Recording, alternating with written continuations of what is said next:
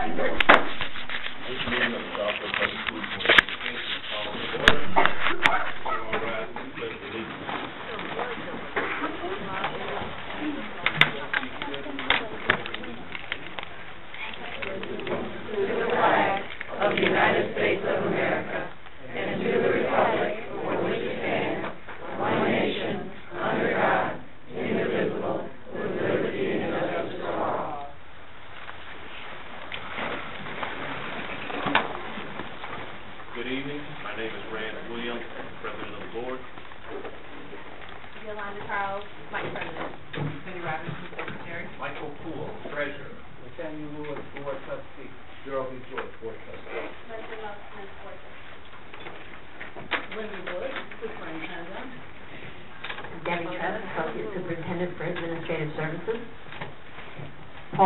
The Interim Associate Superintendent for Curriculum Instruction.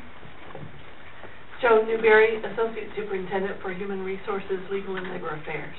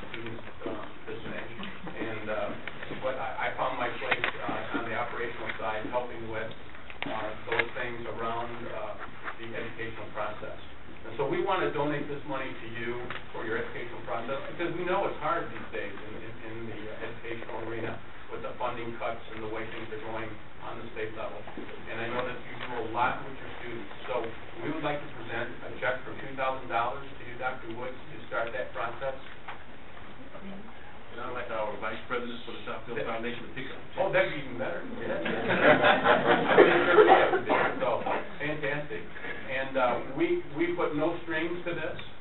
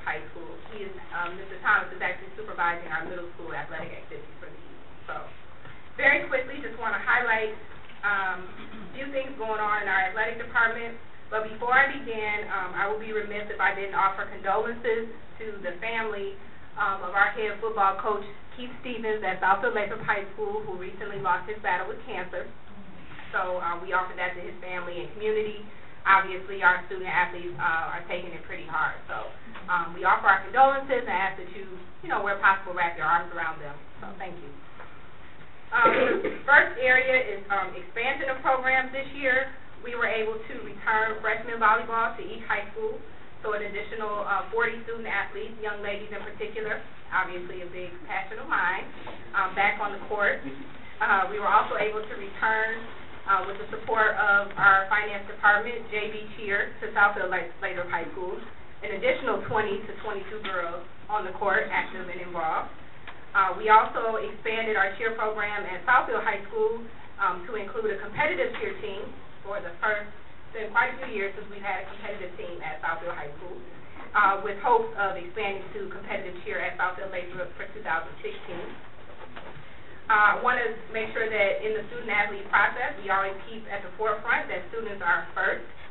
We have currently 26 student athletes across our two high schools with um, collegiate scholarship offers on the table, including 20 football players and one volleyball player from Southfield High School that signed their national letters of intent last Wednesday, February 4th, representing over $2 million in full um, scholarships for student athletes at our high schools. We will have another uh, letter of intent signing day in April, um, where we have several uh, basketball and baseball players who will be um, signing their letters. Um, both girls basketball teams at our high schools have combined GPAs of 3.4 or higher, and our football team at Southfield High School um, was uh, is going to be named um, academic all-state team in the near future for um, again a combined GPA of over 3.3. Uh, we are champs also on the field. Our OAA championships, Southfield High School football, Southfield High School wrestling, uh, both won OAA championships. And our Southfield High cheer team, in their first uh, inaugural season, placed third place in the OAA, so they did a fabulous job. Um, and we also have district and regional championships in football at School. Uh, marketing, getting our name out there which our student athletes, we always encourage them to be ambassadors of our programs and our schools. We are partnering with Channel 15, who has offered free of charge to film, edit, and air select games of the week um, on Channel 15. Um, they've been at several games at both high schools. Um, they recently uh, recently filmed the wrestling championships, and they also will be with us this Saturday to film and then air our middle school basketball championship. Uh, we are the site for Oakland County Wrestling Tournament, the largest wrestling tournament in the country. We are host to the MHSAA Wrestling Team District. We are also the site for MHSAA Volleyball District, and we will be hosting the MHSAA Regional Tournaments for girls and boys basketball, as well as district tournaments for softball and baseball. And I brag on that because of all the schools in the state of Michigan they keep coming back to us.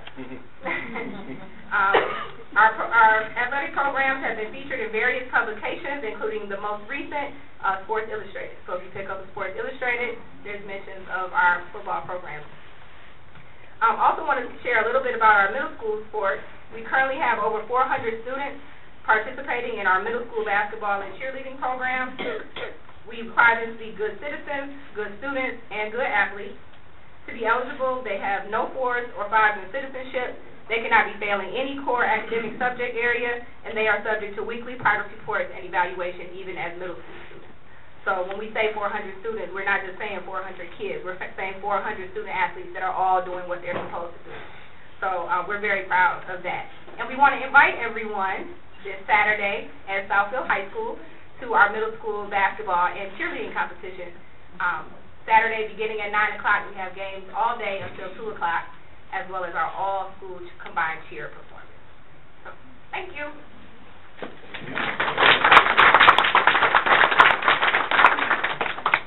I would, I mean, your report was wonderful and Sorry. content, content rich. And I was just wondering if we could glean to some of those upcoming dates.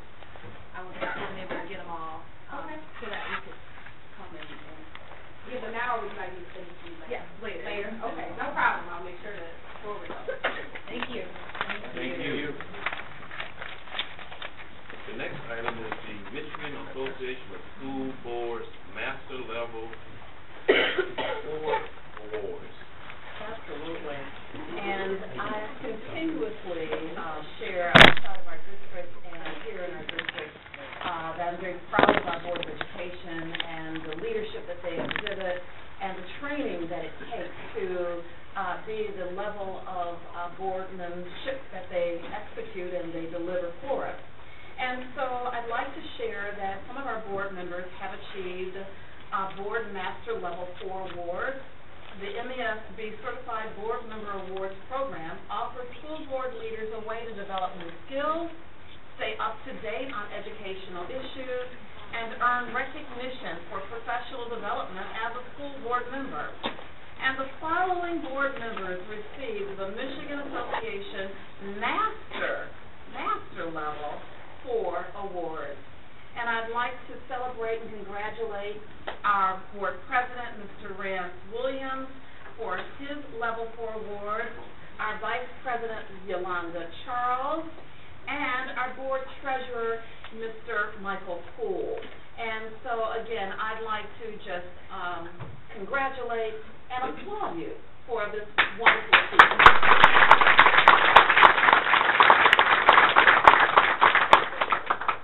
We ask no more of our students, our teachers, our staff, than we do of ourselves. So in order to be true leaders, we set the standards. Just like our athletes, the teachers, our staff, students, and everyone else that supports this. We thank you for the opportunity of serving this community.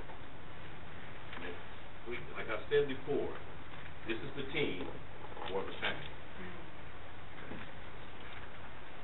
Report of student board representatives. And I think the vice president asked us to change this around a little bit, so although we have, I'm gonna start off with Southfield Lathrup High School, Miss Brianna Richardson.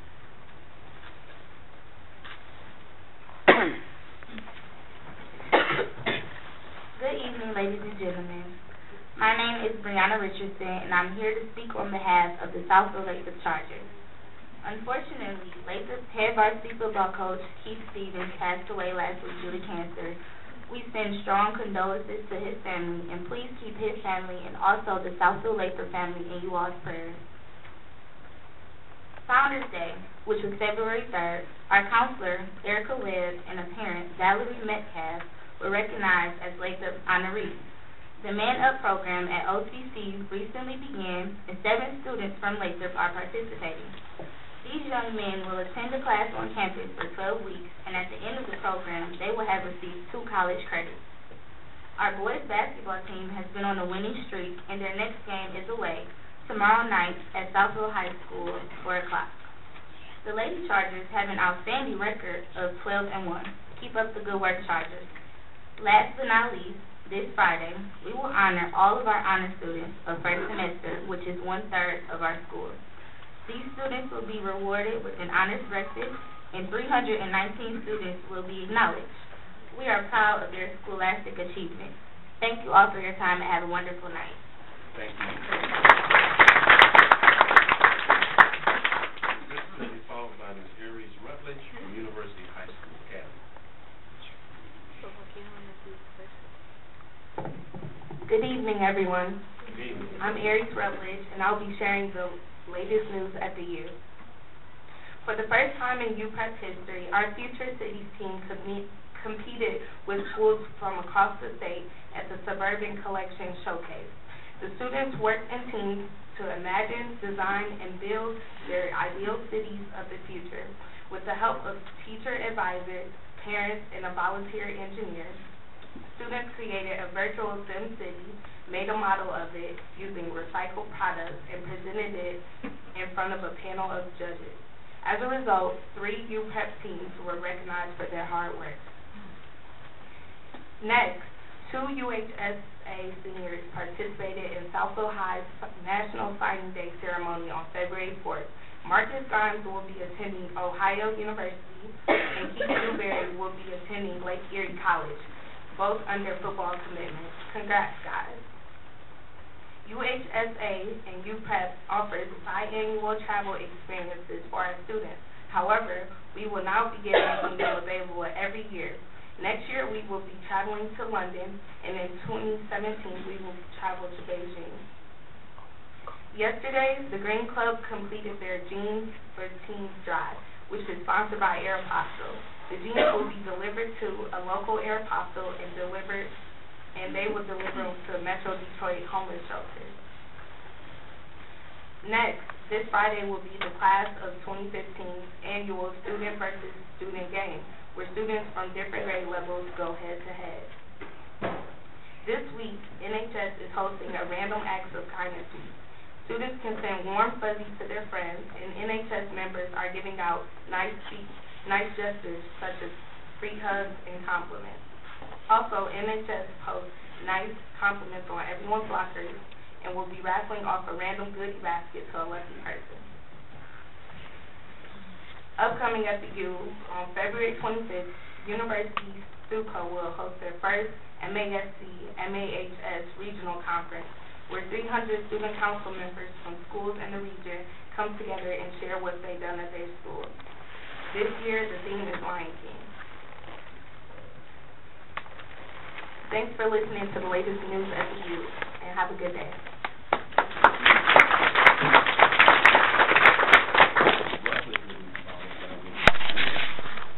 Bradley. She is our newest student board representative from Southfield High School. Welcome. Thank you. Good evening, Board of Education, administrators, staff, students, and Southfield community.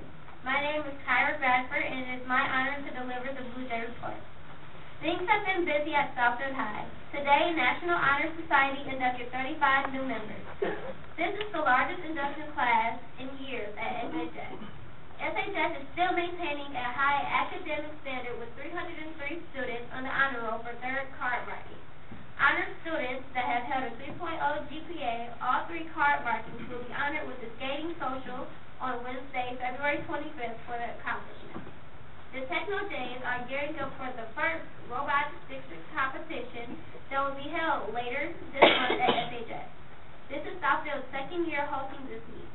The Techno Jays also competed in the electric car competition at the North American International Auto Show, where they took first place. This led to a wonderful photo op with Governor Snyder. The Blue Jay Nation has been flying high recently. The Lady Jay basketball team is dominating in the OAA. The Lady Jays have a 12-2 record and have won all 12 games by an average of over 35 points. Most recently, the Lady Jays held Hazel Park to 10 points in a 62-10 matchup last Thursday, February 5th, which was preceded by a 73-13 win last Monday. The Blue Jay wrestling team concluded its regular season by clinching the OAA white title on Feb- Friday, February 6th. This is the Jays' fourth league in fourth league title, sorry, in five years. The Blue Jay mat men ended a three-way tie at the top of the league between West Bloomfield, Birmingham Sea- Seaholm, and themselves by winning the OAA white wrestling tournament held at Troy High School with 155 points to West Bloomfield's 149 and Seaholm's 132. Up next are team districts, which will be held Thursday at Southfield at 5 o'clock. After one of the most successful football seasons in school history, the Blue Jay football team had one day of celebration with the class of 2015. On Wednesday, February 4th, 20 football players signed college letters of intent to continue their athletic, athletic careers at the collegiate level next year. Students student athletes signed with schools such as Minnesota, Ohio University, Western Michigan, Northwood, and many other institutions. This was the largest signing class of any school in the state. The success comes because this group of young men had a 3.2 average GPA and 20 on the ACT. Signing day also included senior, seniors Catherine Neely of the volleyball team signing to play volleyball next year at U of M Dearborn. Also, seniors Dior Johnson and Charles Harris were chosen to play the second annual Border Classic. This is an all-star football game that will be held at Wayne State in June and pit, Ohio, and Michigan's best prep players against each other. Thank you so much for giving me this time to showcase a few of the great things happening at SHS or Blue Jays Store. Stand out above the rest.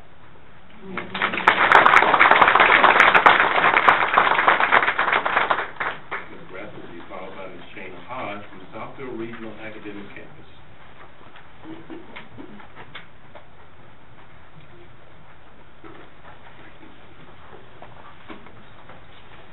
Good evening, board members, Good evening. Superintendent Dr. Linda Wood, Central Office staff and administrators, Southfield School staff, parents, students, and guests. My name is Shana Hodge, and I am your board, student board member from Southfield Regional Academic Campus. On January twenty-first, Mr. Solomon, Mrs. Sonia Johnson, Mr. Muhammad, Mr. Robinson, and Ms. Brown Perkins chaperoned a field trip to the auto show. The purpose of this STEM Club activity was to see current innovations in technology in the auto industry. Last week, students from Southfield Regional Academic Campus did not let their winter chill interrupt their academic progress. This week was the start of the partnership between the Engineering Society of Detroit and Southfield Regional. Approximately twenty senior students are participating in the Engineer Smart Michigan program. This initiative is designed to promote hands-on science, math, architect, and technology that will encourage high school students to pursue careers in engineering. For the next fifteen weeks, students will work with teacher Mrs. Powell, ESD engineer mentors, and university graduates to prepare for a competition at Lawrence Tech University. The top teams in this competition will receive a scholarship fund to Lawrence Tech. On another note, sixteen team consisting of juniors are participating in the two thousand and fifteen Michigan Design and Build Your Dream Co- Challenge. The purpose of this initiative is to teach secondary students how to apply a variety of math and science concepts to common engineering pro- problems occurring in transportation systems. In this competition, students are challenged to design and build a sus- suspension bridge that will be tested for strength to weight ratio. The winning team in this competition will receive a cash prize. At the end of the semester, one of, at the, excuse me. At the end of semester one, our student body came out strong with sixteen percent of students on the honor roll for third card marking and ten percent on the honor roll for the semester. This Friday, the day before our midwinter break, we will celebrate every block. First block, we will celebrate the third card marking and semester one honor roll students. Second block, Women of Tomorrow will meet and hear from a guest speaker. Third block, our sophomore class will have an informational meeting about upcoming opportunities at OTEC and celebrate that their high school year career is halfway over. Fifth block, we will hold a ninth grade celebration and a strength-based session. Sixth block, our Principal's Leadership Council will run a workshop and plan for semester two. Save the date, March eighteenth, Southfield Regional is sponsoring a midwinter college and career fair.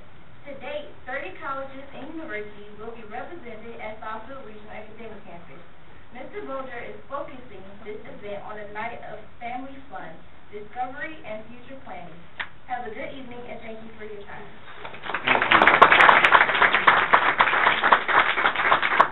As the audience can see, as well as the community has heard the speakers, we have a lot going on in our high school, a lot of interesting things going on in our high school, not just in sports, but in academics as well. I'd like for everyone to give another student representatives for flying for their fine report.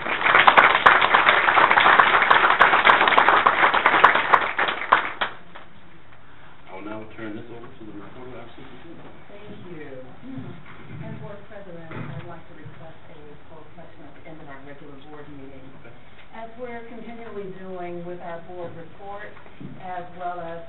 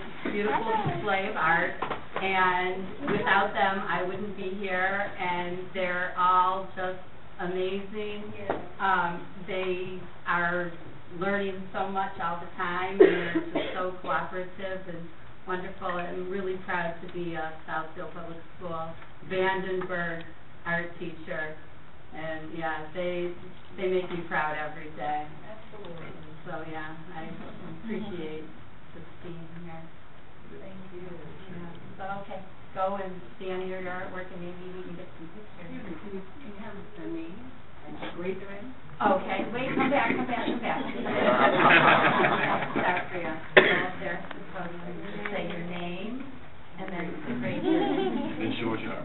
My name is Bria and I'm in fourth grade. Don't show them what Show us your artwork. Very good.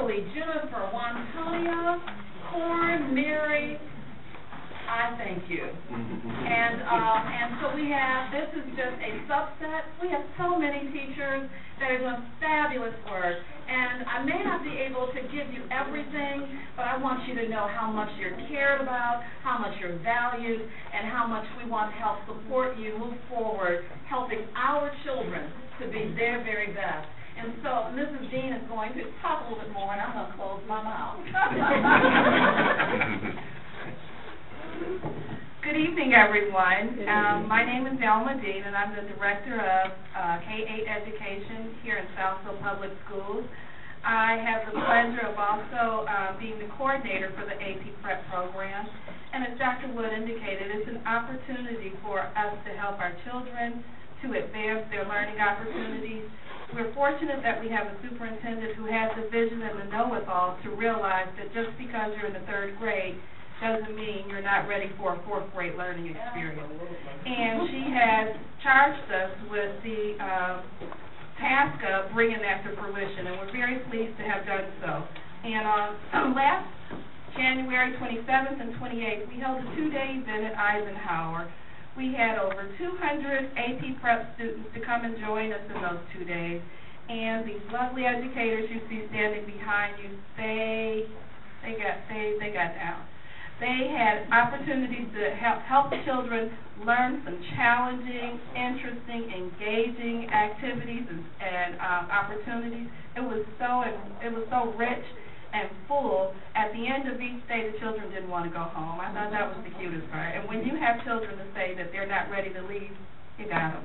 So I'll give each of these ladies an opportunity to come up and speak and just share um, what that day, what those days meant to them. Okay. Hello, everyone. Um, my name is Tori Ballard, and I teach fourth grade at McIntyre Elementary School. Um, I really enjoy the AP day with the students in our district. I have a passion for teaching science, and I was given the opportunity to be able to really just spend a day with the kids from all over the district and provide opportunities for them to engage in various science experiments. It was a fun day for them, and it was definitely a fun and rewarding day for me as well. Hello, everyone. I'm Keisha Hill. I'm math coach for the K-5 teachers. Um, it was phenomenal for me because I I miss being in the classroom, watching the kids' eyes light up and, and see all the learning take place. I taught a geometry lesson to I think third, third and fourth grade, and I two cool things. Okay, so one, I got about three or four cards from the kids, and the cutest one says, um, "You rock," and you love me even when I make mistakes. Wow. And that was just awesome. Like I only got to spend about an hour or so with them, but in that time they felt loved and appreciated, and their learning was expanded. And I mean that was just awesome. And then the second thing is, is I started to visit the different schools, and I go into the teachers' classrooms after these big saucers on their eyes go like that was my teacher. so I get to see kids from all over the district, and it's just amazing to see how such small bodies can learn such huge concepts. Good evening. I'm Talia Williams Hunter, the ELA Professional Development Facilitator, and this was truly an awesome experience for me to have the opportunity to teach a writing lesson to these eager fifth and sixth uh, graders, and they loved, what I did was I did a lesson on voice, having the students incorporate voice into their writing, and they were so into it, and their learning experience was just fabulous. They had fun, as Ms. Dean said, they didn't want to leave, and the crazy part is, at the end of it, I wasn't ready to go. They had to flag me down like it's it's over. We were having so much fun, so I'm just truly appreciative for the opportunity. Good evening. I'm Rania Katori. I'm third grade at McIntyre Elementary, and I do have to say, as much as I love to talk and teach, my biggest fright is to present to adults. so, Bear with me. So my lesson was with first and second grade. Mind you, I'm always in upper elementary teacher, and I've actually been teaching third grade for three years. So teaching noun town for the first and second graders was awesome. They actually were they were able to do a uh, collage with different, uh, a variety of magazines. They were able to identify nouns, but they were supposed to pick their nouns from the pictures, and they were able to categorize them by person, place, or thing. It was really cool, and we also First grade, right? Yes, first and second, yeah. But the best part was, they were able, we did like a little, I had to bring it down a little bit, where we did like a little circle, like a family circle. So they were able to introduce themselves first and, uh, share with me what their favorite, who their favorite person was, what their favorite place was, and what their favorite thing to do was. So before they even started, they already knew what the lesson was about. So I really enjoyed it. It was a great experience. Thank you and have a great night. Good evening, my name is Michelle Martin, I teach fifth grade at Stevenson Elementary. And I had just an awesome day with the students, um, at the AP prep program. We wrote code, and, uh, first they had to program themselves so that they could move, uh, cups from one area to another, and the only thing that they could use were arrows pointing up, down, uh, to the left or to the right. And they understood exactly what that meant. We'd have one student leave the room, uh, the other students would get together and they would come up with the lines of code, and when the other, when the student came back into the room, he had to read the code and actually follow the process and move the cups to put them in the position that they were supposed to be in. After that, we actually went to code.org and the students were programming, uh, little, um, Angry Birds on, yeah, on the screen, and the Angry Bird had to get the pig. And so they had to program the Angry Bird to go up and down, left and right, and they had to really pay attention, look really closely at the grid so that they would know which way to move the Angry Bird. So it gives them an idea of what computer programming would be like in the future. And they had a wonderful time, and I did too. It was great. Thank you. Good evening. My name is Angela Gloucester. I'm an ELA PD facilitator, and I have to agree with Keisha. It was absol- absolutely fun to be back in the classroom. I did a lesson with first and second grade students, and I did a writing lesson with them. And um, we read a story called Dogzilla. And Dogzilla is a story about a colossal dog who destroyed the city. So uh, the purpose of the lesson was for them to learn how to retell the story using word choice. So I did something called a RAF. And a RAF is when you do a writing lesson based on a role, an audience, a format, and a topic. And I divided the kids into groups. I had two groups. One group did a skit of the story Godzilla. So they actually destroyed the city. If you walked in my room, you had chairs knocked over. You know, you had people running around screaming. And another group uh, did a song. And so they presented to each other, and then when, when they were done, they were actually able to write and retell the story and the excitement on the kids' faces. Afterwards, like Keisha also said, when I walked into some of the schools, the kids were like, oh, there's my teacher, there's Miss Foster. It was very rewarding, and I also ran into another teacher who came to escort her class to the event. And she said, oh my goodness, I think the district needs to do this you know, more than once a year because the kids were so engaged. They were um, collaborating with kids from other schools. They made friends right away. And it was amazing watching a fourth grader from Thompson collaborate with a fourth grader from Vandenberg. You would have thought they were friends forever. So it was just a wonderful experience, and thank you so much. Thank you.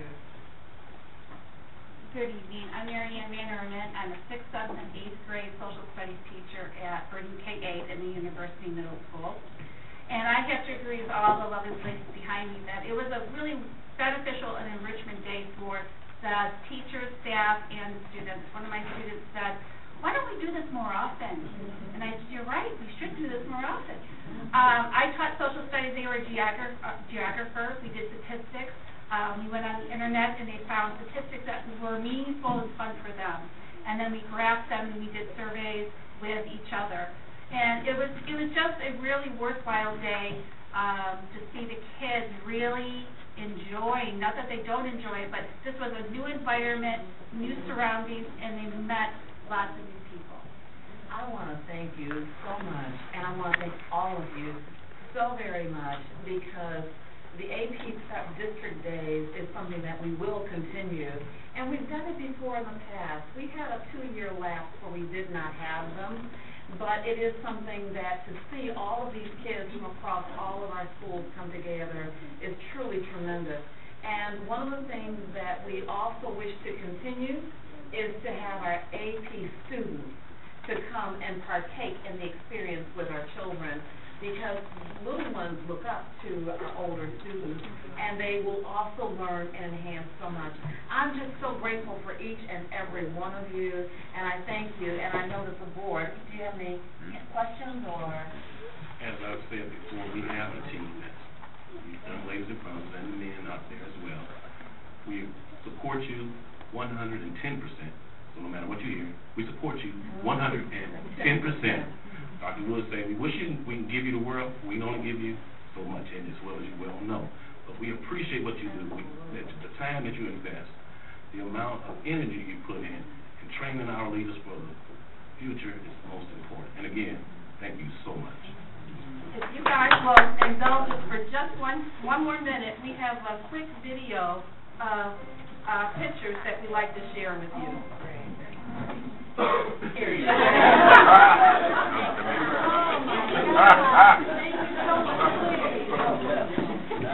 Wow.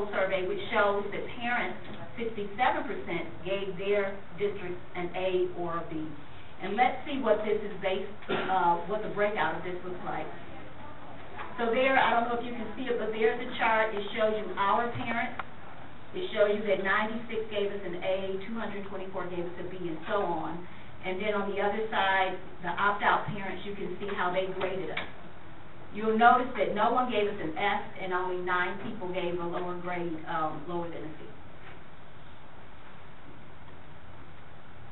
So when we asked why were these grades given, the top answer was good teachers. Now, have we just seen some great teachers?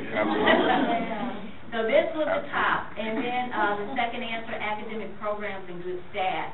If you notice the gap between good teachers and academic programs, that's a little steep for us. We want to close that gap. This tells us we need to do more to advertise our programs. And our recent Citizens Council also attested to the fact that they wanted to see more advertising of our programs. And then good staff. So the community really appreciates our, our staff.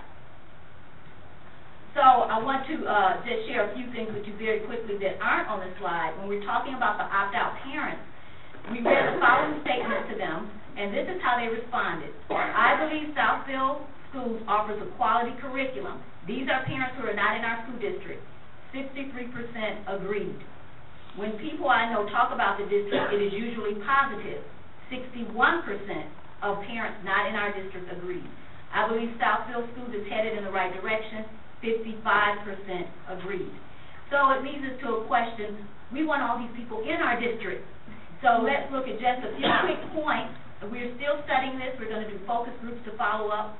But, um, the top reason why people gave Southfield Public Schools a great rating, but were not in our district, for, and these are parents, so these are, these are not your, um, senior citizens, your uh, community influencers who maybe had children who went through the district, this is strictly parents. Uh, the top reason was, uh, parents said that they moved to Southfield and they kept their child in the previous school, that was forty-five percent. So this indicates to us that where they start school, that's where they're gonna stay. And we'll, we'll see a little video later that shows you what we're gonna do about that. More convenient for the family, twenty-two percent, meaning grandma lives in another community, I work in that community, my child's gonna go to school in that community. And a better academic program, thirteen percent had that perception. So, um, and again, this, this is a starting point, it's a benchmark for us, and it gives us something to study so we can go deeper and find out how we can better meet the needs of our community. In response to, uh, communications, ninety-three percent of our parents and of the opt-out parents felt they were very well-informed or somewhat well-informed. And seventy-three percent of our parents said they get most of their information from ParentLink. We want to up that uh, so that social media is something that our parents are looking to more. And we also noticed through our Citizens Council a gap for families who are not in the district, you know, uh, senior citizens in getting information. So we want to target those, that particular demographic. And then we have just some agree or disagree statements. SPS is a safe place for students. Our parents, ninety-five percent agree, sixty-six of the opt-out parents agree. SPS offers a quality curriculum, sixty-two percent of the opt-out parents, eighty-four percent of ours agreed. Talk about the district is positive, which we just covered, and the district is headed in the right direction, which we just covered. So, um, based on the survey, we are, uh, developing a communications plan that will hit the main points of the survey and what our citizens council shared with us. So we want to really focus on, um, our stellar teachers, our academic programs, and our early education. So our first step was to develop a video that talks about our preschool and our kindergarten. So Ms. um, Gardner, if you could show that video.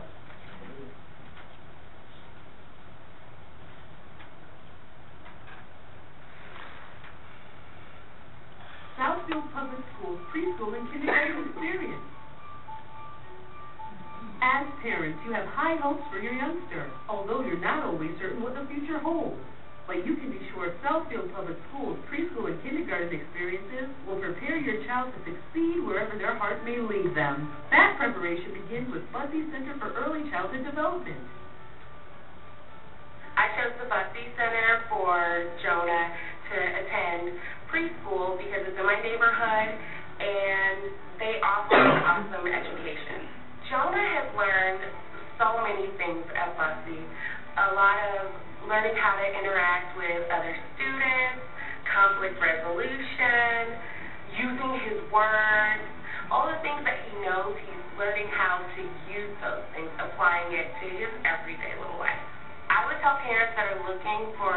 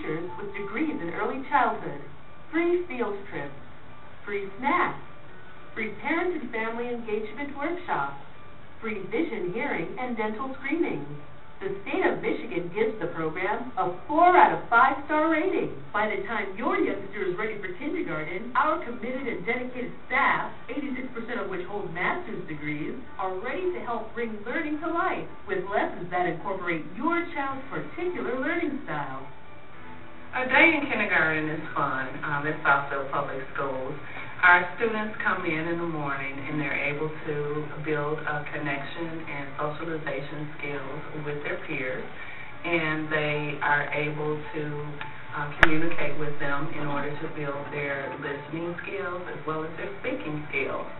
We definitely set high expectations for our kids. Technology is everything at this point. Um, in order to get our kindergartners ready um, to compete in our global society, um, they definitely need um, the technology skills.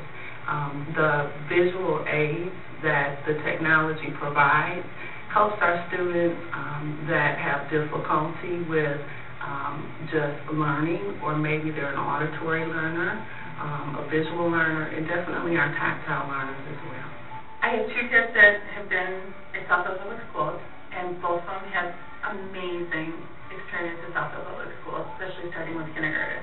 My oldest, Raylene, has been here since kindergarten. Coming into Southfield Public Schools was absolutely amazing.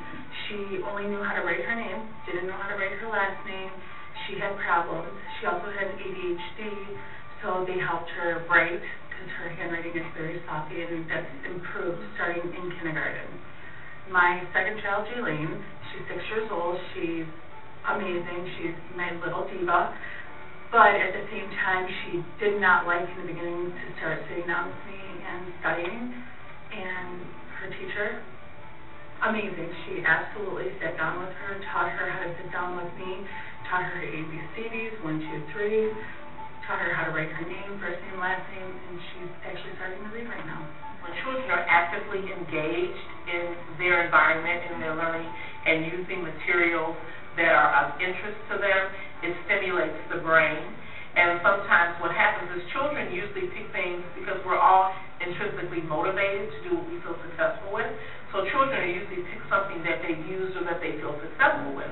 So teachers have been taught to meet the child where they are, look at their interests, and then look at content. How can I attach content to interest? Research shows students who begin their academic careers early with Southfield Public Schools perform better on standardized tests. It's no wonder all of our kindergarten programs received high marks on the Michigan School Accountability Scorecard. College begins at Bussey. If you want your child to be ready to go to college, then they need to be at Bussey. Find out why success begins with Southfield Public Schools. Call today or visit. And I have two quick slides to show, um, and then that's it.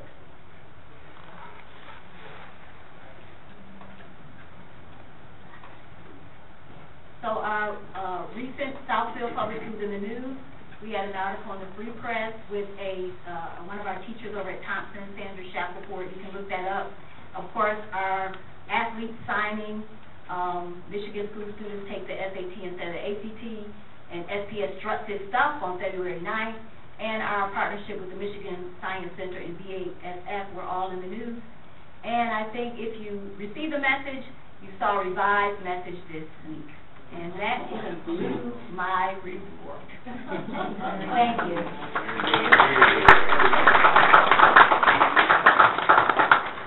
Thank you so very much, and Lord, that concludes my report. But I have to say, I know I'm biased, so why would you place your child anywhere else? Okay. Good evening. My report tonight is contained in the consent agenda. Good evening. I'm going to move to the podium.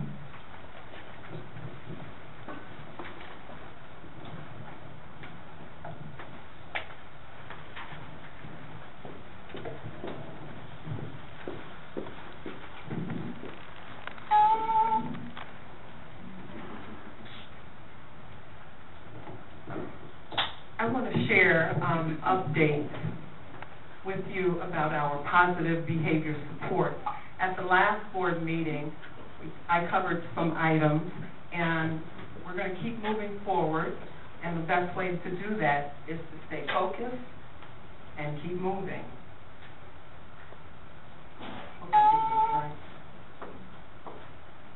Okay. Southfield Public Schools is committed to uniform processes in all schools. So several years ago, well, two years ago, fall of 2013, the board approved a policy on behavior, um, well, four infractions, and that was dress code, attendance, cell phone usage, and skipping and loitering. This year, in moving forward, we developed some procedures to highlight the policies. And then to go a step further, this winter, we looked at the procedures and we made some changes. So what we continue to do is reflect, change, reflect, change. The district and schools will continue to focus on proactive strategies that support appropriate student behaviors.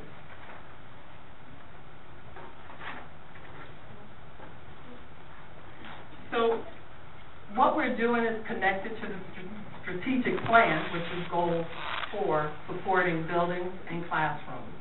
We are strategically and purposefully instituting protocols that will support appropriate choices. In your packet, you'll see three pages as an attachment.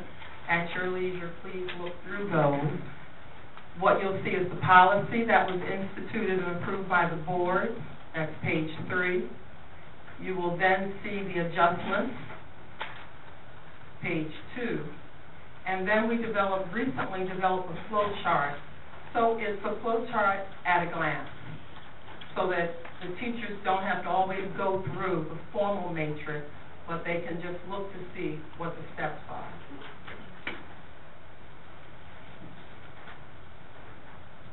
I want to also thank Almadine, George Chapp, and Elise Collier. They're my Synergy team. We get together. All I can say is we make magic. And, and we're dedicated to change, changing behavior, positivity. We want to go deeper. It was a joy to witness the AP program. On the other side, we have students that need to get there. And sometimes it's about their attitudes. So if we can help them understand our rules and procedures, we can make change and begin to really close that achievement gap.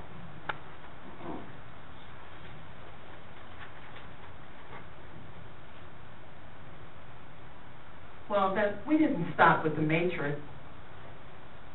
We're about 21st century, so we mm-hmm. developed a Google Doc. Because what we saw was, there are some, the infractions happen, and there are pieces that the teachers and administrators do every day, that there, are sometimes there's no record, which means then there's no accountability. And we want teachers, administrators, and parents to be accountable. We also want to be able to stop and look and analyze our data. So the Google Docs, which everyone has access to in the district, they record the infraction and the interventions used. They must contact parents. The matrix highlights staff actions and directions. It also highlights administrative actions. The newest improvement, and I, and I just said everyone can view the document. Initially, we began, you couldn't see what the administrative procedures were or what another teacher was recording. We've recently opened up the documents for all staff members to be able to view total transparency. Next, we're going to develop steps to implement strategies to teach expected behaviors. We just assume kids know why we have policies and procedures. Sometimes they really don't, because they never stop to think about it. So we need to take that responsibility and take opportunities to teach them, this is why we do this. This is why we function as a community. Finally, next steps. We're going to continue analysis of suspension data and loss of instructional time. If we improve instructional time, we improve learning. We're going to develop multiple opportunities to teach expectations and norms. If we increase consistency, we will change behavior.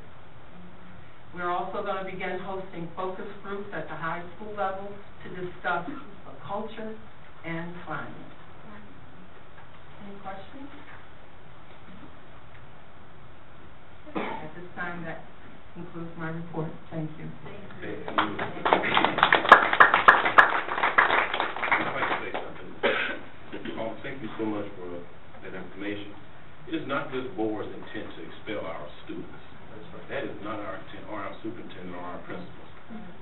We're here to teach and learn and mold those young minds. So, to the parents out in the community, we need your help at home. And we've looked at our policies, looked at our procedures, and we're asking for uniformity, which you just heard.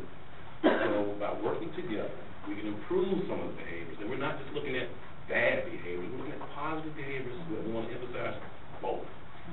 So continue to work with us, uh, you and your team. We thank you so much, as well as the teachers and the principals, for coming up with this. Thank you. That concludes my report. Thank you.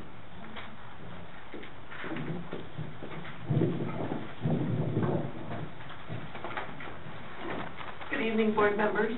Um, I'm Joan Newberry, uh, and my report tonight is contained within the consent agenda as well as in the um, closed session later on this evening, but I would like to call your attention. Um, we have for approval tonight, um, Mr. Derek Lopez is our new Associate Superintendent for, um, uh, Instructional Services and School Performance.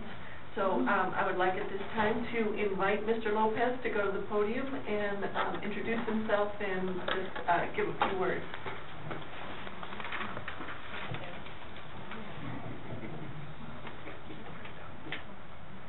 Good evening. Good evening. I'm Derek Lopez, and I am just thankful to be joining this family. Um, I'm overwhelmed with what I've seen this evening and for the last three days, um, working alongside such committed men and women to do the work that we do every day. Um, so I'm the sum total of all of the experiences that I've had in my life, and that experience began really when my granddaddy said, boy, get them books. So I'm a country boy by trade, but because of them books, I've gone to some of the best educational institutions in the country. I've seen the world. I've had the opportunity to explore several really, really loving careers, but this is where I live and sit. I'm a teacher. And I will just share with you that my grandmother wasn't able to go to school. She had to work for farmer Mississippi. And she told me when I was really young that I wanted to be a teacher. If I had been able to go to school, I would have become a teacher. And I'm just really thankful that I was able to fulfill that dream for her. And I hope and pray that I can honor her name, Marie Henrietta Jones, and honor my family by serving the children and families of Southfield with honor and integrity. So I thank you for this opportunity. Thank you.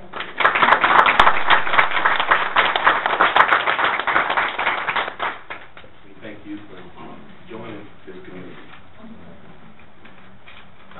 And with that, we'll move. I'd just like to make a comment. Mr. Lopez wasn't he would be. Um, your name came up while I was in the lobby of, uh, Senator Debbie Stabenow. And, uh, as we were walking the halls of Congress and up and down the hill, there were board members that were speaking about you glowing in the highest regard. But I just wanted to let the superintendent know why his choice. Um, he seems to have a pretty big fan club out there as it relates to people that he has mentored along the way. Well, I thank you for sharing that, and, um, I met Mr. Lopez in the process of soliciting for, uh, someone to take this very big role of instructional leader and school performance. But, um, I resonate with inside that this is a very good choice for Southfield Public Schools, and I thank you so much for bringing all the talent, uh, and the wisdom that you bring, um, to us so that we can collaborate and move our district forward with excellence. Mhm. Well, I- I- I'm glad you said that with that, because he, Mr. Poole, he is a man of distinction. Uh, I, I thought, I couldn't get rid of you. Sorry, we were, we're in a house cafeteria, Ms. Liz. You know, I said, well, wait a minute, you know, it hasn't been actually, I shouldn't be talking about but, um, I had known this was taking place. And it continued, and it continued. And it went from there over to, uh, Senator Stabenow's office, and we were in the lobby for about fifteen minutes. And one stopped, the other one began. And I don't wanna give it away because, um, he definitely, and the way they described him would compliment. No, no pressure.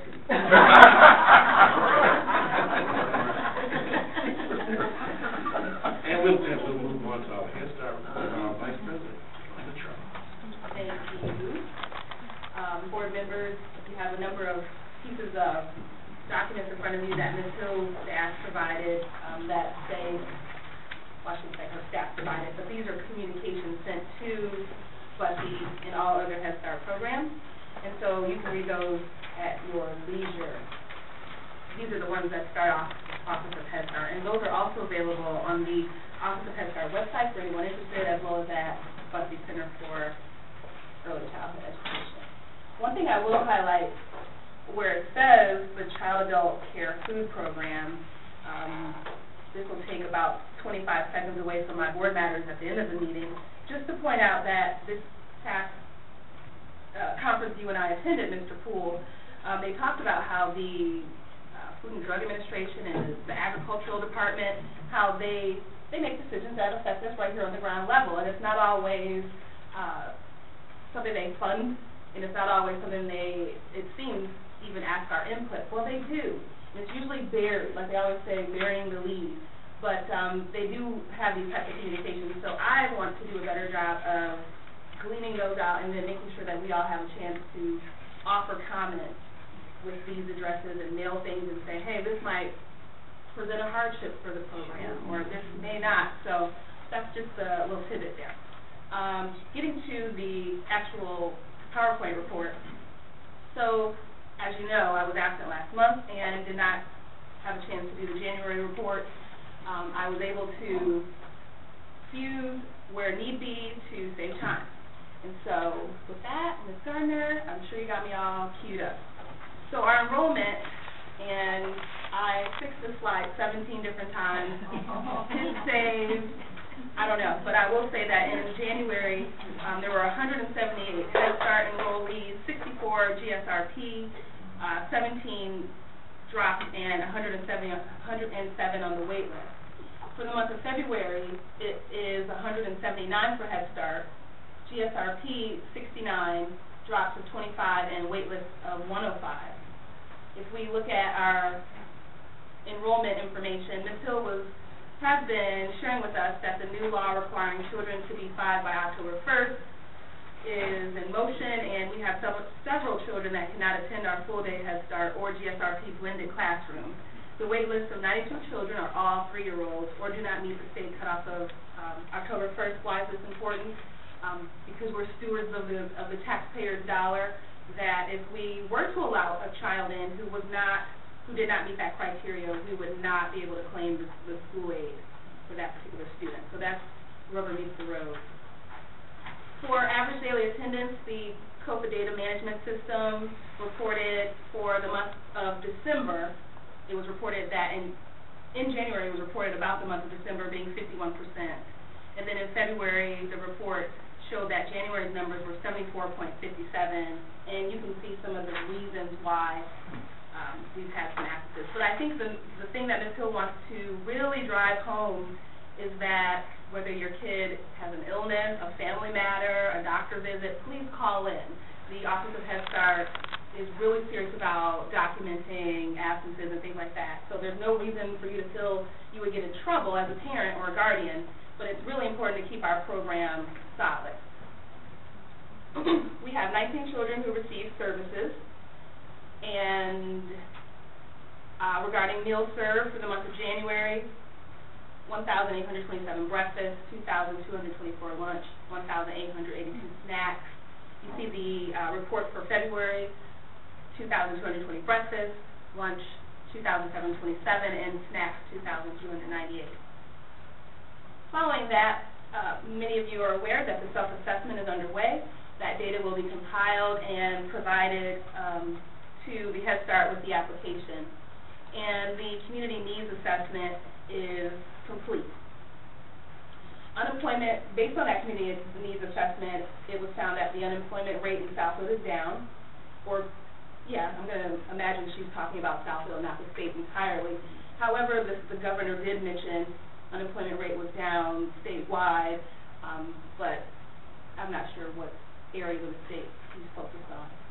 Um, and then for 2015, an additional $65 million has been allocated for GSRP, and that allowed us to fill five slots, additional slots. And then it's also been received in the community needs assessment that families at 300% of the poverty level will now qualify. A family of four can make up to approximately 78,000 and qualify for free preschool services. So that's something um, important in here, too. um, the Office of Head Start has had some changes in how we are to do our application for refunding. Um, that conference call with Ms. Chavez and Ms. Hill took place, and she's preparing and giving guidance for that. Um, the in-kind numbers will be adjusted during the month of March, and accurate information will be provided for Policy Council, Governing Board, and parents. The GSRP and Head Start in-kind hours have to be reported separately. March 25th is the internal review team visit to Bussey, and Cultural Day is February 26th, 2015. The financial data, and we have that uh, breakdown as well, board members and community have access to that at Bussey. Um, our grant award, as you know, is one million six hundred fifty thousand three hundred sixty-eight dollars. And of that, you can see the breakdown, program operations, training and technical assistance, and the local match. And uh, that next slide points out the federal grant, and I wanted to highlight this for the community, that um, that would include salaries, fringe benefits, training and technical, purchase services, et cetera. And that comes to $1.2 million. dollars. And we have uh, the balance remaining of 746,000, or about 56.6% of that remaining. And you, you also see noted in the orange arrow on your spreadsheet there that that's a benchmark where generally we could be at 52.63. So we're at, we're really in a good a good place there federally. Locally, you can see some of the criteria there of what qualifies as local. Um, you see the volunteers has an asterisk that has to do with that re uh, redoing of those numbers, and she'll provide that next month. And then I wanted to highlight that the governing board, if you look at your spreadsheet, has no work. They basically didn't budget that we would do things, and I mean, of course we would, but I'm just saying that they didn't assume it. And so it's very nice that from all of our hard work at the Bussey Center, we have earned seven thousand five hundred and forty-eight dollars towards the program, um, among other things, including parent services, and so we're really doing great there, and let's keep it up. Um, and so that's a balance remaining of thirty-four percent. Um, Ms. Katz would be very proud to see that we've got this listed here, uh, to just notify of what the budget was, what we spent to date, the balance remaining of eight hundred and the percent remaining of fifty-two point one percent. Um, my last slide here are just notes that Kat, Kate Stankovich provided for us, which was that there were no charge payments in January twenty fifteen. The open purchase orders are not included in this, and I just wanna say to Catherine Dankovich, and you can relay the message that um, she's just really giving us enough, more than enough information so that we really feel confident that things are where they're going. And so she's also indicated that purchase orders were not included, those that, those numbers there. And then the in-kind contributions, I spoke about that already. And the line item budget report also provided as well as transaction detail for non-wage or benefit accounts as they were reported. So all those things she'll update us on in the months to come. Um, and finally, just two last things.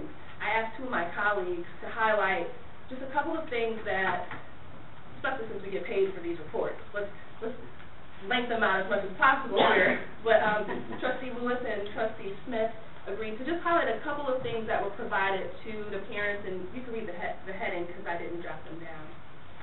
In addition to the, uh, report that was given, it's imperative that I note that it, that it is, uh, important that a bridge, uh, is built between the home and the school.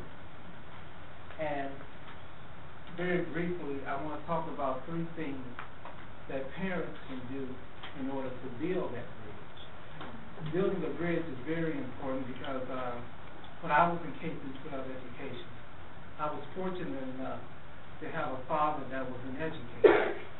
And I was able to be an eyewitness of my parents sitting down with me as a teacher, being involved in my education. So I would like to share with the community, with the parents of the community, three things that they can do to increase student achievement. Number one, read every day. Share your love of books with your child. Research shows there are there are benefits from reading to your child for 30 minutes a day. It does not have to be done all at once. Secondly, talk and listen. When you talk and listen with your child, he or she builds language and learns needed skills. Thirdly, help your child see herself, himself, as a capable person. Help build self-esteem by pointing out all the things your child does right. Make an effort to look for the good in your child. Help your child see how wonderful she is. And in addition, um, I would like to add, this is another resource that was provided, is how I can help my child become a reader. Um, and this one, I highlighted because it spoke to me and something that I did with my daughter. Um, make up stories about your child's daily activities. Use your child as a character in the story. Children love to hear about themselves and their own adventures. They can be real or make-believe. Have a child add details to the story.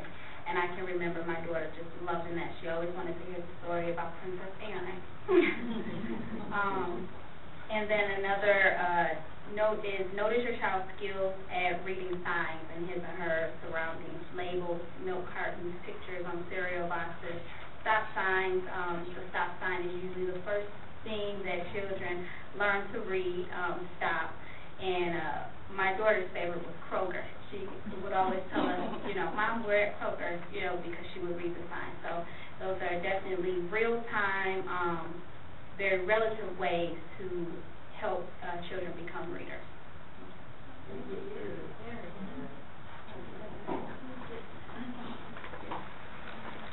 We'll now move into action items.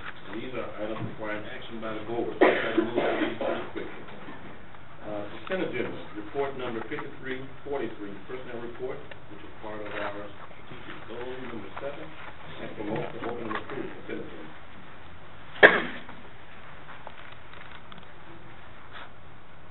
Before um, the motion is actually made, I just wanted to say my own negligence. I didn't notice that minutes weren't listed there.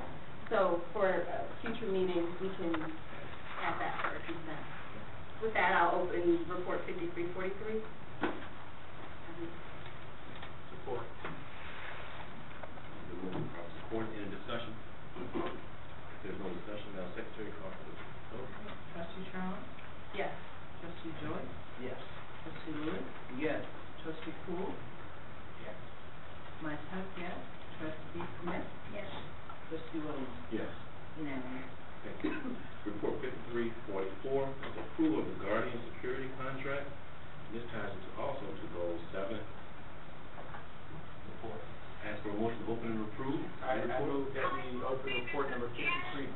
Forty-four, the approval of Guardian Security Contract.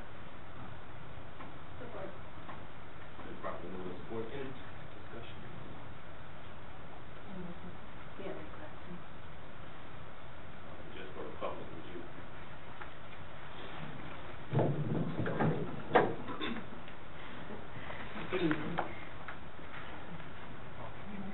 This is a, a one-year extension of the Guardian Security contract. We've been in contract with them since two thousand ten, and, uh, we have had a very good, uh, working relationship with them, and so this is the year of, uh, it's actually the fourteen, fifteen year that we're extending it for. Are they asking any changes or anything differently? No changes, the, um, the contract amount stayed the same. So we're currently in that fourteen, Yes, fifteen years. yes. And, um, just two quick things. The overtime for special events, has, has that been an easy billing situation, or does it feel like something we'll be on a good foot with? Um, some companies may, definitely not this company, but manipulate overtime, or give you trouble about certain things. Have we had a good feel for that over the years? Yep, we've had a very good relationship with them. We don't have any problems when we need extra security. Um, we usually give them a couple of days, uh, heads up, and we haven't had any problems filling the spots and getting people here. And, uh, just because I've said it every time, but Guardian Alarm Services is a Southfield company, they also have my same zip code, and so I am a very big supporter of them, and I'm glad that this is coming before us again. Any more discussion? If not, Madam Secretary, call for the vote. Uh, trustee Williams? Yes. Trustee Smith? Yes. Trustee Robinson, yes. Trustee Poole? Yes. Trustee Lewis? Yes. Trustee Joyce? Yes. Trustee Childs? Yes. Yes. Thank you. Report fifty-three forty-five, approval of the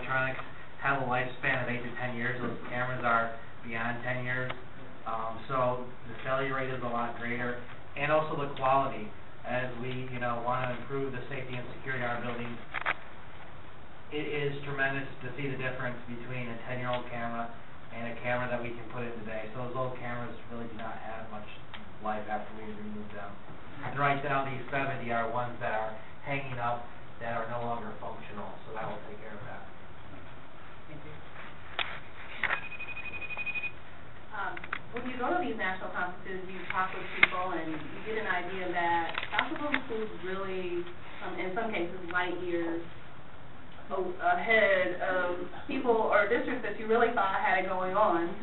And one thing that they were saying was, wow, your your cameras feed into your local police department. So kudos to the administrative uh, staff who, who makes that happen um, because it's just, you know, I don't think folks realize how unusual that is.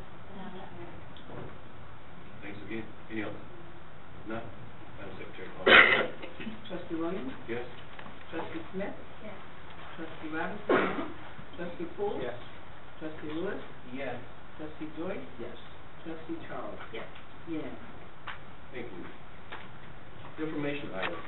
These are items that do not require board action. Um, Report number 53.27, is our purchasing report. Read at your leisure. Report number fifty-three forty-eight is the JWE Administrative Building Telephone Upgrade. Then called Bill Summer. And just for the viewing audience and listening audience, many times we do not have questions here at the board meeting because we have study sessions that go for some time. Prior to that, just to save time and, and looking at you know the work that our staff and administrators do, not keep it here very long on board night. But when we have to, we will. So we are inquisitive, we do ask questions, and we are knowledgeable.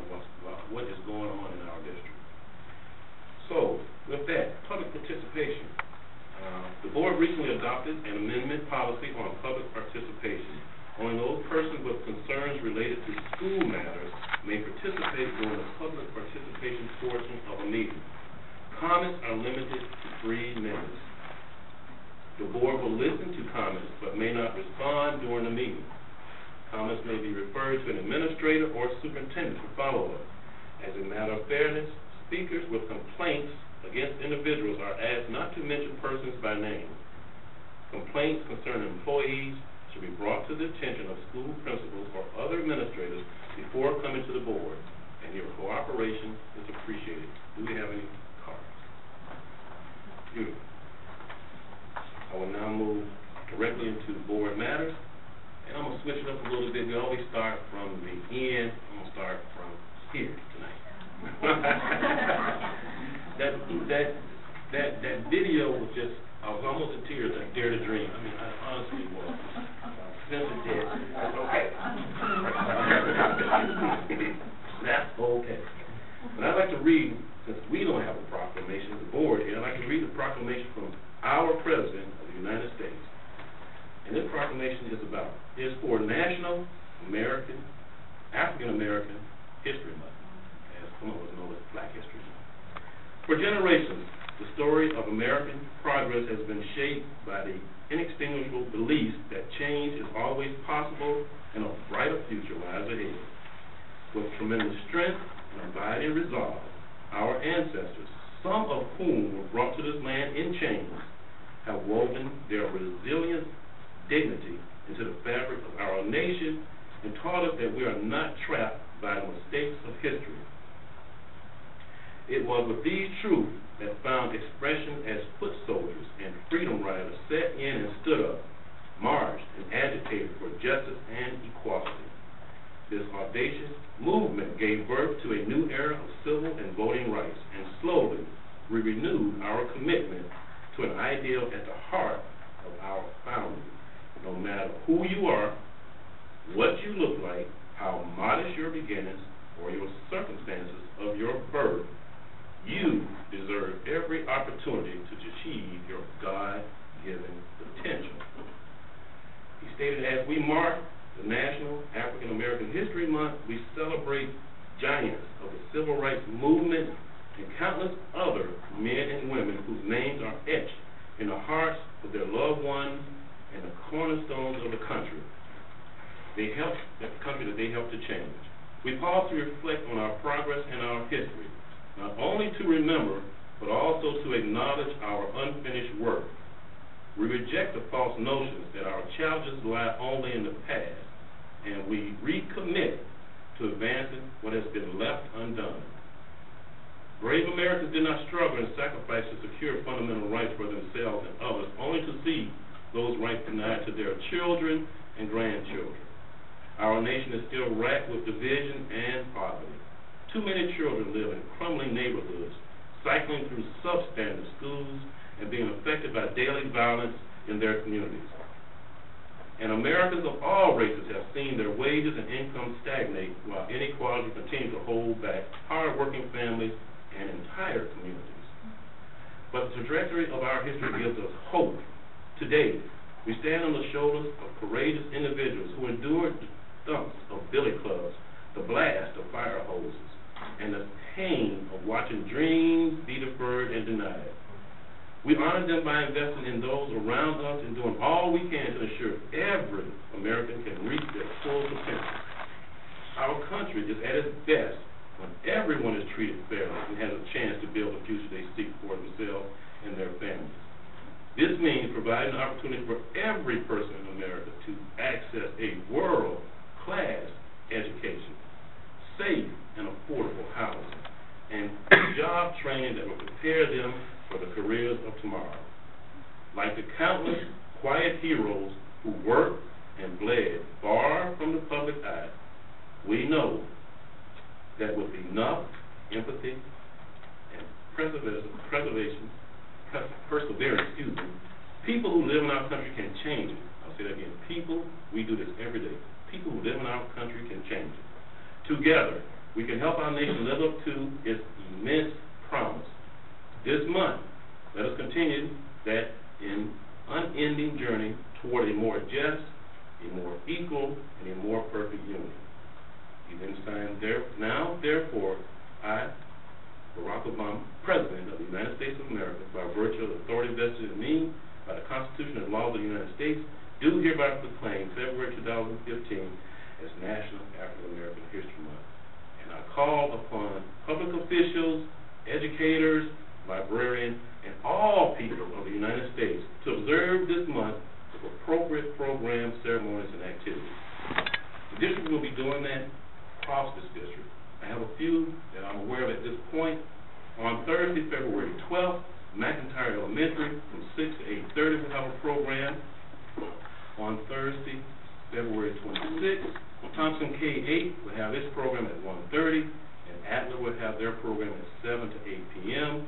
And then on Friday, February 27th, Stevenson Elementary will have their program starting at 9.30 a.m. Please check with your local school, because uh, this may not be an all-inclusive list, to find out what programs will take place. And again, we thank you.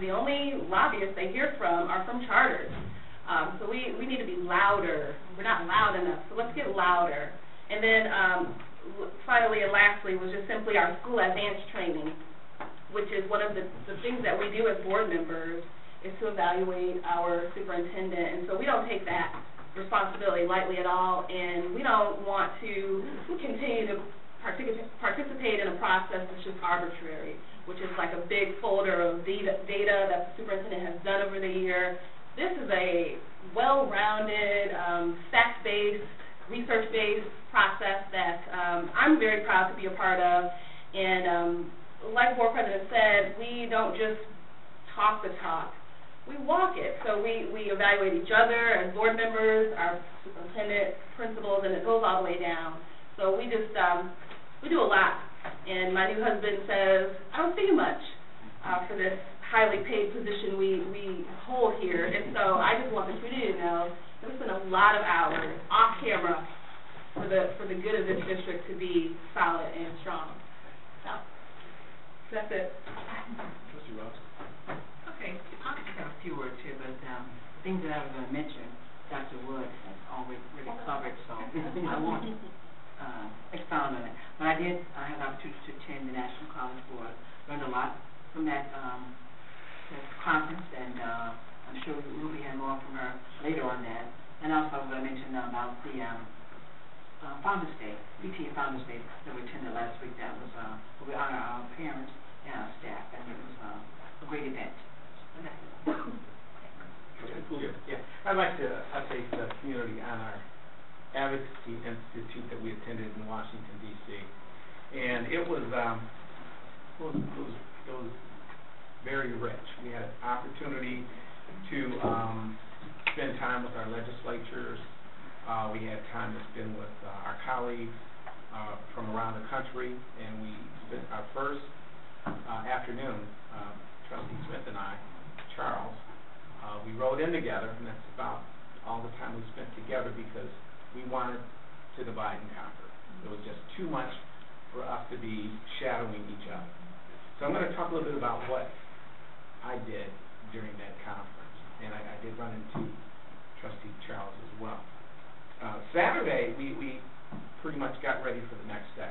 Started right at eight o'clock, and that was when we sat down and we decided, you know, what were we gonna take to the hill? What was our strategy? What, what did we want? And pretty much there were the three things. One, reauthorization of Elementary Secondary Education Act. Two, we wanted them to just properly fund Individuals with Disabilities Education Act. They've never funded, never funded. Um, so we wanted them to just give us what they promised. And thirdly, I took a liberty and with, uh, uh, Senator Stabenow in her office to let them know that Southfield's being, um, run over by schools. And I felt that we needed some type of zoning, uh, here in the state of Michigan at least, because that's her area, that if you look at Oakland County, and at that time, I think the last time we looked at the numbers, was about thirty-two charters operating in, in the county. Over half of them were operating in Southfield. That's unfair. And other districts from around the country are facing the same thing. It, it's diluting our, our, our, our, our, our, tax base. So, um, that was Sat, that was Sunday. Started at eight o'clock, and if we're getting paid for this, somebody tell me something, because I'm not seeing any money. We went till, um, uh, four or five o'clock. Then we had caucuses after that. Um, so Monday we got up, and we had a congressional breakfast with the, um, Honorable John Kline, Republican from Minnesota. And Mr. Kline is the chairman for Education and Workforce Committee. We also heard from Suzanne Bonamici, who's a Democrat from Oregon, and she's the co-chair for the Science, Technology, Engineering, Arts, Design, Math, and that's STEAM. There was a lot of people at, this congressional lunch. So we, we didn't have a chance really to get to meet and talk one-on-one with those, um, members of, of, of the House and of the Congress. The next day was the day on the Hill, Tuesday.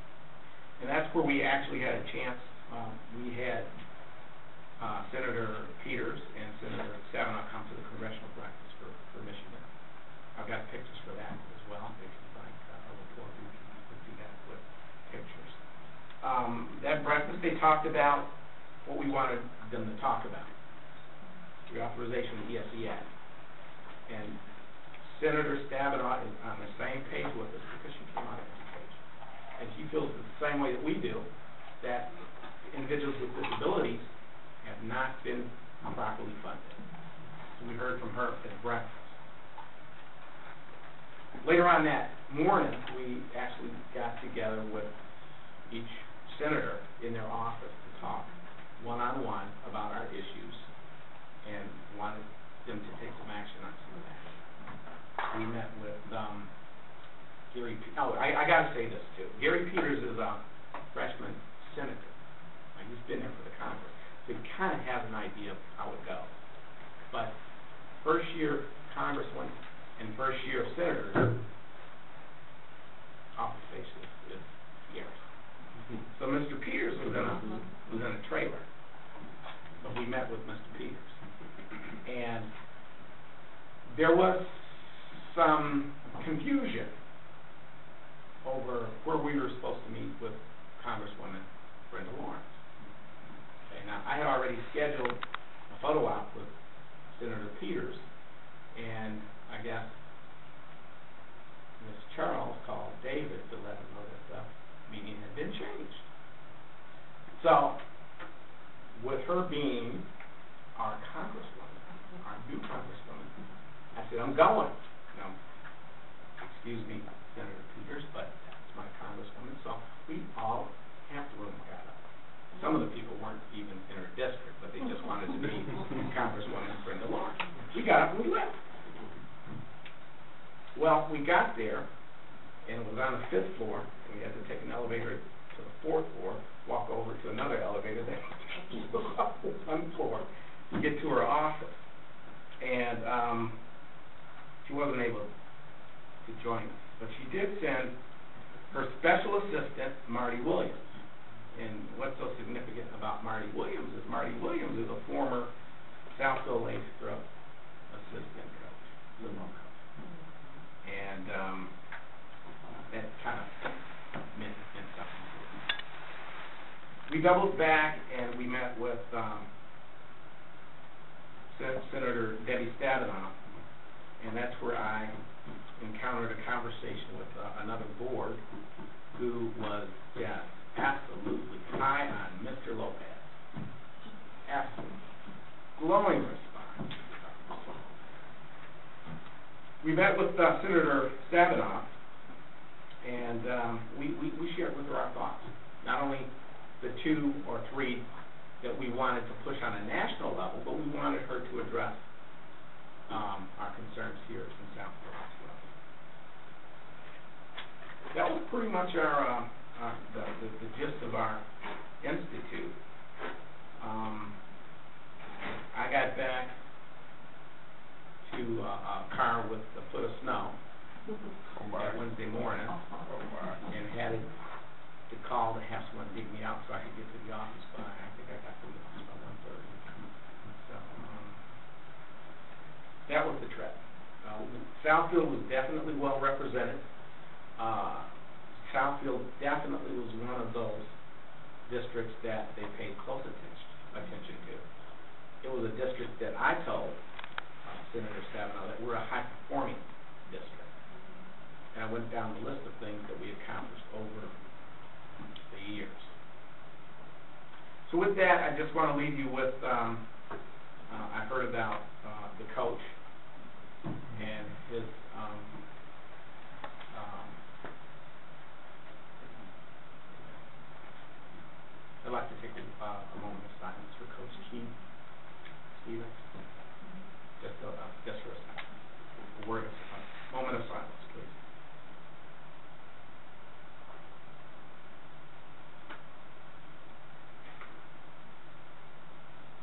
Thank you.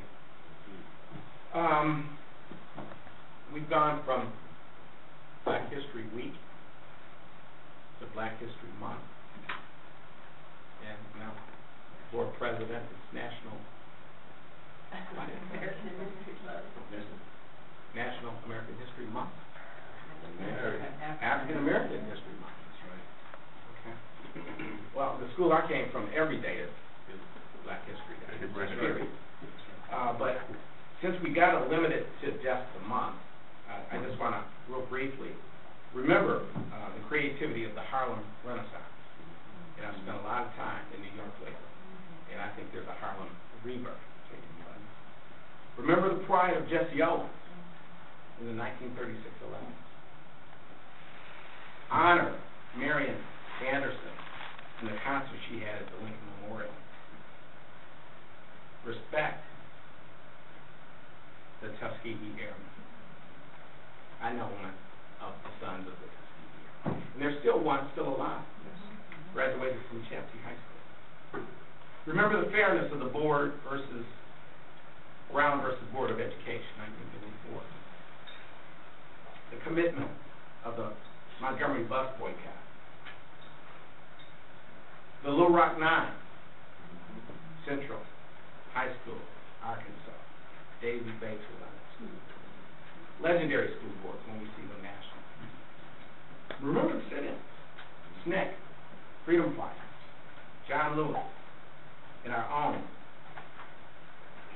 Viola Liuzzo, who died shuttling um, participants of that Selma March back and forth from airport.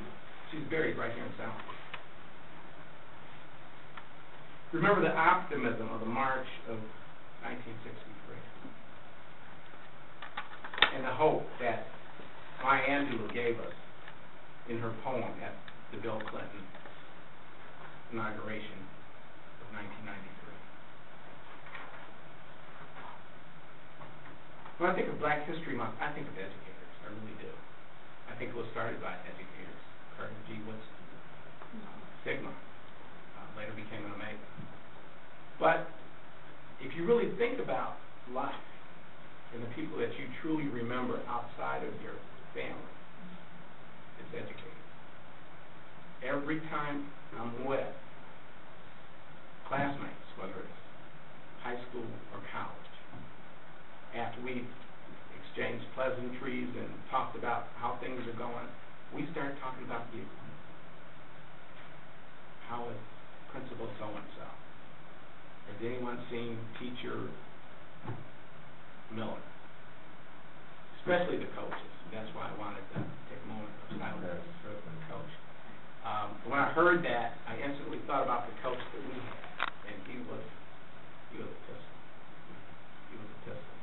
Um, they actually help motivate and change your lives. So, uh, when I think of Black History Month, I think of the teachers that I've had. But that is what's lasting for me. I think for most. Thank you. Cool, thank you for those comments. Trustee Lewis? Good evening. Uh, last week I attended the Founder's Day event, and I would just like to say that I enjoyed my time that I spent with, uh, teachers, administrators, parents, and other good people in the community. Thank you, and God bless.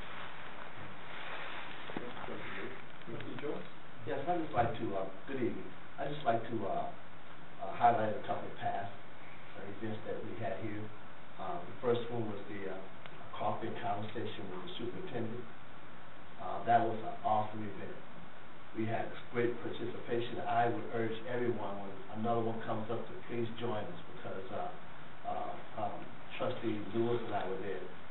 And, uh, there's some great questions, and Dr. Wood really did a great job at answering those questions. And, and, uh, she is just so great at how she handles, how, handles the crowd. And the, um, second one is, is the event we had yesterday. Uh, yesterday evening at, um, Michigan First Credit Union. That was a specialized, uh, uh, school night. And it, it was a great event. Uh, uh, it, it was crowded. It didn't start out as a crowd, but by, by God, by halfway through, we, we had, it was packed. And, um, uh, Mrs. Dean did an awesome job of Lacey and, uh, Ali, uh, Car-. And it, it was so, it was so great because everybody was so enthused. And I got a chance to talk to a lot of pa- parents afterwards. And I found out that a lot of parents there were only there just to get more information, which really means that that was a great event. We had parents there who was looking for, uh, uh, schools to, to send their children or, or early scho- uh, schools for, with busing, but a lot of them were there to get more information. And so that means something when, when, when we have an event and people are looking for more information about Southfield Public Schools. Yeah. Thank you, trustee Joyce. Trustee Smith? Thank you. Uh, good evening. Um, I echo the remarks about Black History Month, now known as, uh, National African American Month, in regards to, uh, there being several programs that are gonna take place across the district. And so I encourage you all to, um, find a program and attend. Uh, we definitely want to show our students that we support their efforts and that we support uh, the celebration of this month and uh, of our history, as well as we are all preparing for midwinter break, and we're filling our calendars. I encourage uh, parents to consider the Charles H. Wright Museum. I've already been on their website. They have a host of free uh, children's programs, uh, music, uh, just a variety of ways to engage reading, um, some plays. So I think that will definitely be a delight, uh, a way to fill up that time next week. Also, um, I want to highlight the Celebrity Readers Program.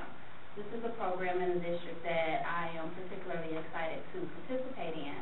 Uh, and last month, I had the privilege to enjoy yet another Friday afternoon hanging out with my kindergarten friends. Um, I joke that I spend Monday through uh, Thursday, uh, some some weeks with a bunch of three and four year olds, and then I spend my off day in the kindergarten class. So, and I have a six year old at home, so I can't get away from the itty bitties. Um, but I was over at MacArthur, and we had such a fun time. We read uh, The Very Hungry Caterpillar, and they were all so excited to share with me about everything that they had been learning about Dr. Martin Luther King. Uh, and a few of them were even, you know, thrilled to share how they had seen me at the Southfield um, MLK Task Force event. So that was really exciting. Um, we had a great time. We, we gathered around the carpet. We took some pictures.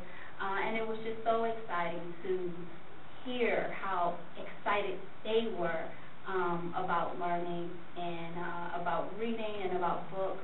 Uh, and so I just encourage you all to take a moment, go to the district's website and find out how you can sign up to become a, a celebrity reader. Uh, it takes about 10 minutes. Uh, next month is the National Reading Month, so uh, I know that they definitely need some volunteers. Uh, it, it only, literally only takes a couple minutes to sign up and takes about two to three hours out of, uh, out of your time to volunteer. And then lastly, and it was mentioned earlier in one of the student reports, today was Southfield High School's National Honor Society induction. Uh, and it was such a treat to have been invited and to attend. Uh, and it was wonderful to see all of the 35 new members that they're gaining. Um, and it was just very refreshing to hear their dreams and aspirations.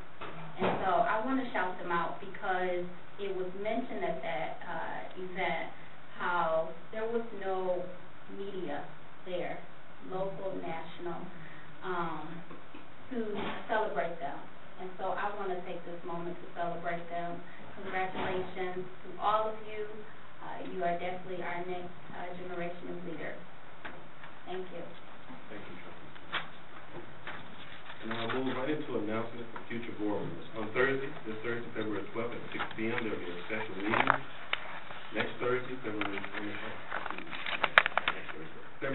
four to six P M in the student hearing.